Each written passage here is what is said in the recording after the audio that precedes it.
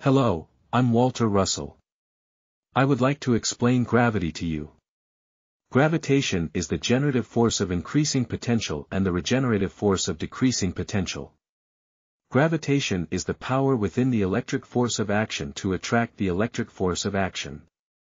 Gravitation is the contractive power within electricity to divert the universal constant of energy into centripetal vortices of closing spirals of increasing speed, thereby attracting similar states of motion into an accumulation of mass, the pressure of which increases toward its center.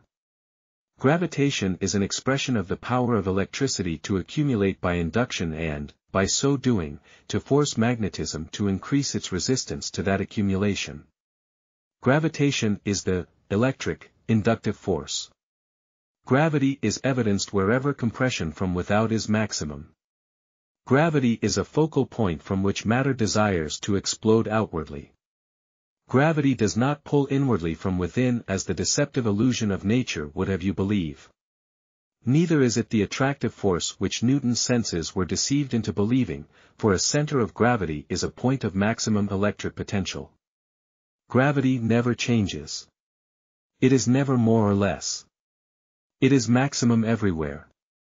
It is electric potential which changes by multiplying and dividing the measure of power it is able to express by drawing it from its gravity center of control.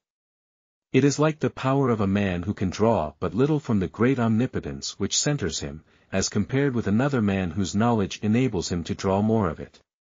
Electric potential is the tension caused by the electric division of the one universal condition of rest into two unbalanced conditions of motion.